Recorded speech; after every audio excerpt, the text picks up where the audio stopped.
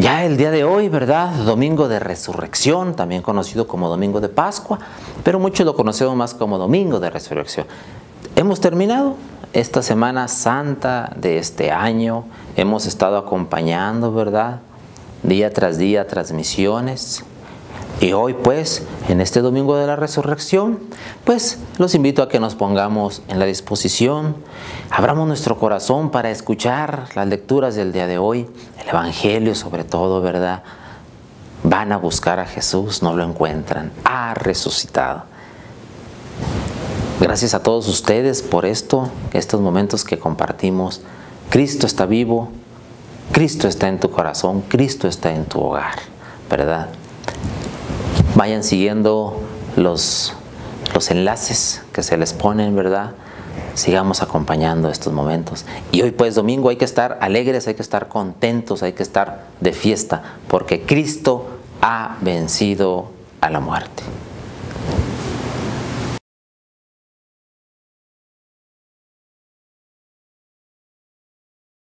Hola niños, buenos días a todos ustedes. En nuestra página web podrás imprimir la hoja para trabajar esta bonita actividad.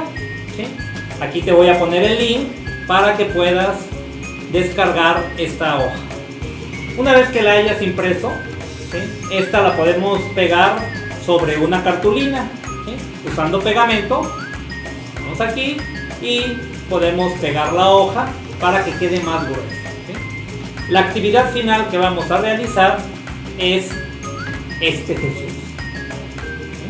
Queremos que ya que conociste a Jesús ahí en la revista Alma, pues ahora lo tengas ahí en tu buró, en tu camita, en tu mesita de noche, para que puedas rezarle todos los días, platicar con él. En México, en Estados Unidos se le llama papercraft a esta técnica que vamos a usar.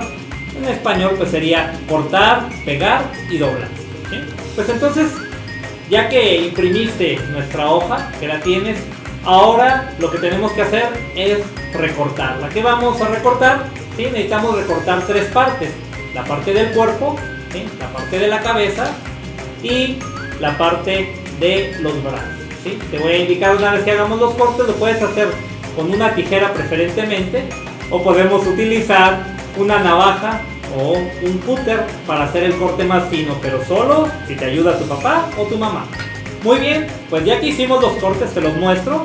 Aquí tenemos el cuerpo, la cabeza y las manos las vamos a cortar de esta forma. Si ves, tiene una pequeña línea para que nos permita doblarla, para que quede de los dos lados. Esta sería la primera parte que vamos a realizar. Por la parte de atrás le vamos a poner pegamento. Hay que tener cuidado en esta, en esta última parte, no pegarla esta que está aquí porque esta no necesitamos que se pegue. Entonces vamos a utilizar esta área. Ya le pusimos pegamento y sobre la línea vamos a doblar.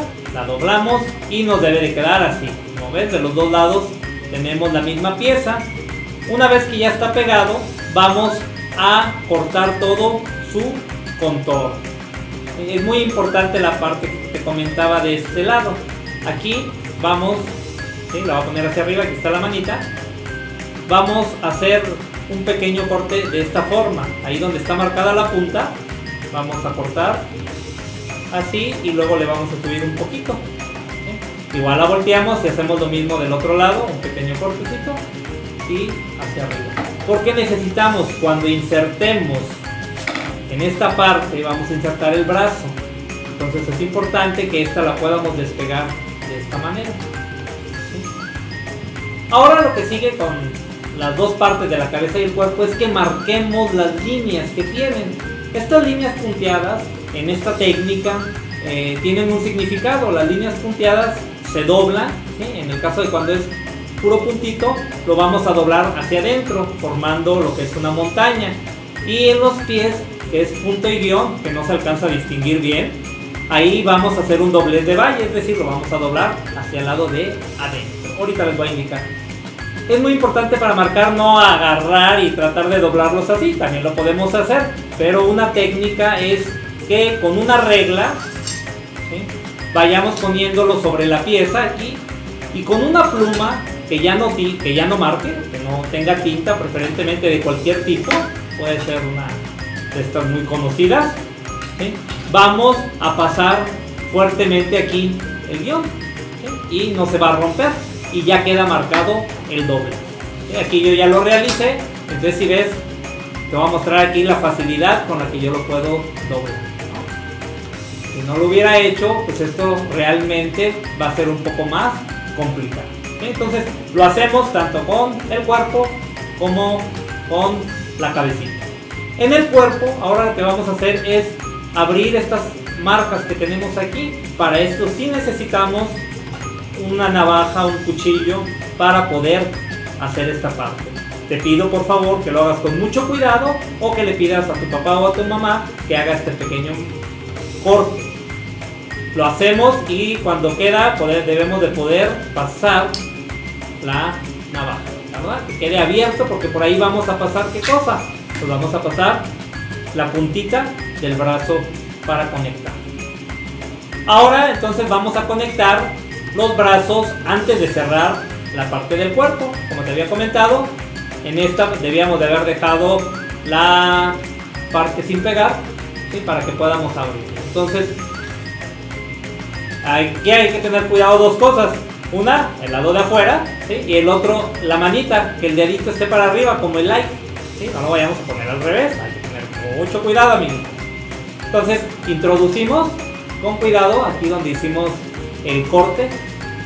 Nos va a quedar en esta parte. Y ahora tenemos por la parte de adentro, vamos a abrir, a ponerle pegamento de este lado y del lado de afuera y vamos a abrir las pestañas de esta forma para que queden bien pegadas. Aquí va el pegamento, el pegamento, le detenemos tantito aquí, hacemos esto, vamos a hacer lo mismo con el otro bracito para introducirlo aquí y tener ya los brazos antes de cerrar el cuerpo. Entonces ahora nos sigue la, la parte donde debemos empezar a cerrar el cuerpo. ¿Por dónde empezamos? Todos estos puntitos nos indican que ahí va pegamento. Son las pestañas. Vamos a empezar por la vertical que tiene el cuerpo. Lo vamos a cerrar de esta manera, así. Vamos a ponerle pegamento en este. Y más o menos con un minuto vamos a tener bien pegada la pieza. También vamos a hacer lo mismo con la cabeza. La pieza por la que debemos de empezar ¿sí? debe de ser la que cierra el cubo, la que cierra el cubo, ¿no? Estoy buscando la mejor forma, entonces en esta tendríamos que poner un poco de pegamento y cerrar el cubo. Digo, nos permite, al no haber cerrado las tapas, nos permite poderlo detener con, por adentro y por afuera durante un minuto, 30 segundos o dos minutos. Ya que pegó bien, eh, que dejamos un par de minutos o cinco minutos que sellara bien, vamos a cerrar las dos partes, la parte de arriba y la tapa. Podríamos empezar primero con la parte de abajo, con la, con la tapa, aquí donde está nuestro club de niños misioneros, nuestro bonito logo, porque este si ves tiene una contratapa. Entonces le podemos poner pegamento a estas dos, apoyándonos con el dedo, ya nomás lo detengo. Lo puedo poner sobre la mesa para entonces proceder a ponerle a los tres de arriba para cerrar la parte de arriba.